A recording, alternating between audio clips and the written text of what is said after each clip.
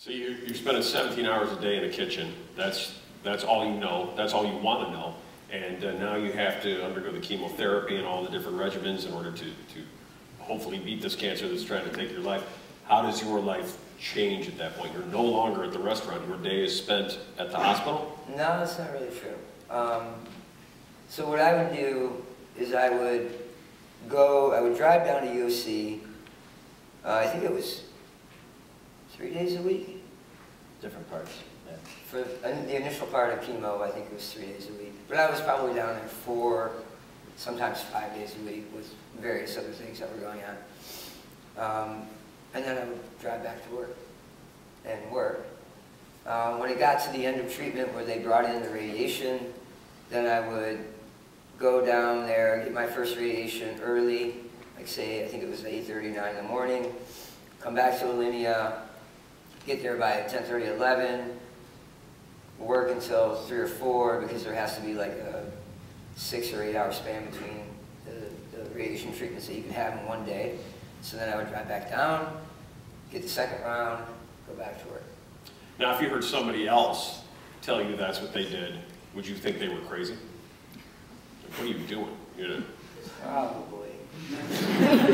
What did you think, Nick, when he was doing this? Yeah, I mean, at one point I tried to dissuade him of it and said, eat better, exercise more. And his doctors, to their credit, said, no, like let him do what, he's, what he wants to do. You know, I think that th- they had the very good sense to know that, like what he was saying, people do what they want to be doing, you know? And the worst thing to do is to go home and sit on a couch and watch TV. So um, the only part at which I like literally wanted to drag him out of there is three days after he had his, his lymph nodes taken out and he literally had a, couldn't talk and he was back. And I was kind of like Casey Skeletor at home. You know? like, you know, you can't, you can't be standing at the pass in Alinea with a dream hanging out your head. Yeah, I said, welcome Hey, home. what So I about the said first restaurant? Yeah, yeah, yeah, you got cancer, you're freaking people out. Right, I said, I said, welcome home, and then, now go sleep for a while. And, and then they called me, um, the other chefs called me and they said, he's still here. But, you know, like, 'cause, you know, hours later, so Right. I drove back down, and I said, Highs are high, the lows are loaded. Did it ever, did you ever have a day where you, uh, you said, it's, it's gonna get me, it's gonna get me, or was every day like, there's no way it can get me? No, it wasn't every day. There was a couple of days where you're just like, oh man. Especially right after, you know, the treatment, you're just, you, it, it just beats you down to such a, a level that you, you know, literally not being able to taste or not even being able to like, I couldn't take a drink of that water and hold it down. Was that your ultimate frustration? It was- Given it was your passion? Yeah, I mean, the fact that, I think it was probably more frustrating, because when you're going through it, the treatment that is, you, you trust the, the, the doctors that there's a good chance that you're gonna be better at the end of this. But at the same time, you, you're, in your head, you're going, man, if I go through all this stuff and this thing comes back, that won't be really worth it, you know? And so you kind of trudge your way through it, and about Three months after everything was done treatment-wise, and I could taste absolutely nothing, I think that was probably like the low point for me. Because now you're faced with all these issues and you're going, damn, I can't taste, and how am I supposed to do this? And I had to rely on people at the restaurant, and it, it was tough. It was tough. How about when the taste came back? That was, that was pretty remarkable. It came back in, in waves of, um, well, first it was sweet. So I remember waking up in the morning and, and I was still incredibly light at the time. I was probably 130 some pounds. And they were pushing me to get calories in my body. So I never put sugar in my coffee. But I grabbed a big thing of coffee at Alinea and took a couple of big spoonfuls of sugar and took a swig. And I was like, oh, that tastes sweet. And that was like the first time. And then I remember like three months later, and then I got frustrated again because you go through three or four months where all I could taste was sugar. And Yeah, that would suck. I was a lot of milkshakes at that point. yeah. milkshakes were going down, but then at the point it was just like, all right, this is getting kind of boring. And then the same thing happened where I would wake up, go to work, grab a deli of coffee, throw my sugar in it, take a swig and be, one morning I was just like, this coffee is terrible, it's so bitter. And then bang, it was back. back. And then it just kept coming back like that, so.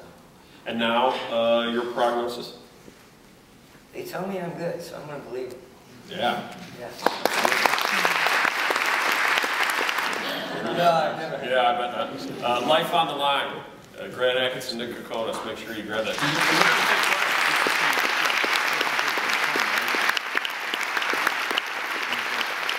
So if, uh, if anybody has any questions, if you could just raise your hand and, I don't know what we'll do, we'll put, right gentleman, right- Absolutely, absolutely. questions? No, he didn't hear the question. Oh, that- was Alinea still his comfort zone? You think it always will be? I think it'll always have like a touchstone for me. How will you balance your time? Sorting that out now. Other questions? Yes, right here. Hello, Chef. Hi. I want to thank you for uh, coming in and having the time to do this. Thank you. Um, I'm very passionate about food, and I want to be the best. Um, In order to be the best, I want to have a mentor just like yourself. Do you think I can come in next Saturday? Next one gonna be a reservation question? Let's start that now. You have the email, All right. and I'll, I'll give you the email after, because we have, we have a very complex stagiaire schedule. No, Hey, give the guy some credit for standing up and asking. Yeah, so I'll give you the email after, okay? okay, I just have one last question. Yep. Um, Just like a chef like myself starting out, what is um, some words of advice you can give me in order to be uh, the best that I can be? Well, you need to find an environment that's nurturing and that, like you said, you need to find that mentor, you need to find that, that kitchen that's gonna both push you but also not push you out the door. And that's, that's tough to find. Yeah. How about this young man here? Um, uh, um, when when you were growing up, uh, like at your grandmother and your parents' restaurant, did you ever imagine that you would like be the top of the um, like top of the restaurant line and like top of the culinary world? I don't think specifically, because I didn't even know what that meant at the time. Because I was 12 to 17 years old, so I didn't even know that this world existed. But I think what, what was present then was a very strong competitive spirit. So they kind of go hand in hand, you know? Thank you. Yes, right here. Um, Grant, I was just wondering what role your family has played in this whole journey. You talked a lot about growing up, but I'm just curious now how they fit into the other five or six hours you have left in your day. I mean, that part's always tough. Um, and it's something that you, you know, every person's going to kind of navigate and, and figure out on their own. I think now, well, first of all, they're all down here, which is nice. Um, but yeah, home life is tough. I mean, basically the restaurant's closed Monday and Tuesday, but you never really can 100% shut it off. You'll get the email, you'll get the phone call, you'll get the question from here or there. Now with the opening of Next and Aviary, you know, we're, we're getting pulled in that direction. So it's just really important to, to try to spread yourself in the right direction that you feel is appropriate for not only you, but for them. You know, it's difficult. It's one of the hardest parts of, of doing this. It's not the actual cooking. That part is not that difficult. It's everything around that that makes it a little bit more challenging. This gentleman right here, I saw his hand go up. Is there any cuisine that would be uh, from the past that would be too esoteric? Like, could Next do a menu from like ancient Rome or something? I think it could, yeah. I think that's, right, write that down. We've talked about a lot of wacky, Yeah. a lot of wacky stuff, and it, it becomes, you're only having to do it for three months. That's the thing, like, you never build a restaurant around ancient Rome, maybe, I don't, you know, maybe someone would. Um, Vegas. Right, exactly. The whole Caesar's Right, palace. exactly. I guess I'm wrong. Yeah, um, But, uh, I think I'm eating there. Go figure. Yeah. So, but yeah, you know, I think, I think because we're doing it for three months, and if, if it turns out that we have a, sort of a willing audience that is willing to take some risks with us, that's the best part about that restaurant, is that you can take some risks that honestly may not work out. Like that failure is a little bit of an option, And you can, you can take some risks that, um, you know, just may prove not as great. And not, that's not a bad thing necessarily, right? In the back, maybe somebody in the back that hasn't, I see one up there, standing there in the back. Thank you. I wanted to ask you, I think um, cooking and the cancer probably is two of the most intense things you can go through, but kids are out there as well. And I wanted to ask you how um, the cancer and the cooking, more so the cancer has affected who becomes a parent. Yeah, I think that the boys were, were so young when I was diagnosed. I think at the time, well, they're nine and seven now, so that was what, three, four years ago, three years ago. So I had to sit down with them on the couch and try to explain them, explain to them that, you know, dad's sick, this is a problem, here, pull my hair out, that sort of thing. I think now, you know, we're still in that position where we have to um, you, you have to uphold your identity as a person before you can become a good parent, I feel.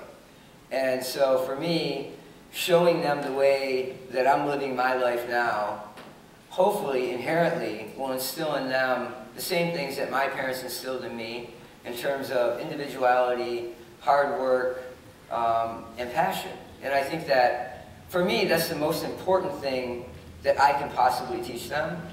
And I think we do that a lot of different ways at our house, you know, whether it be spending valuable time with them away from food in general, um, traveling with them, and then literally on Monday and Tuesday when the Alinea Kitchen's shut down, we'll go in there and make pad thai from scratch with them and talk about it. Where's Thailand? How, why is, Dad, why are you putting fish, liquid fish that's coming out of a bottle into these noodles? You know, stuff like that. So I think that, Liquid fish. Right.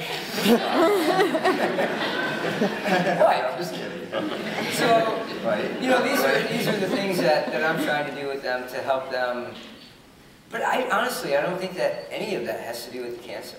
And I think that's one thing that, that we didn't touch on that is a really common question for me is, how did the cancer change you? Almost impossible to answer, but I think that the thing for me was, I don't want to let it change me at all. And that's why I only missed 14 days of service during treatment, and that's why I, you know, persisted to go to work. So I think that there's that element that's also very important in being a parent and sharing that with them.